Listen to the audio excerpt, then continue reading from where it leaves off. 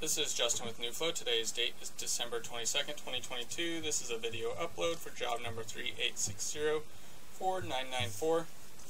Here we are at the end of the liner. Here's the starter liner and the cast iron. Pull back just a little bit of plastic that we cut out. Here's the gap for the laundry. Some more loose plastic that'll flow down the line once some water gets used.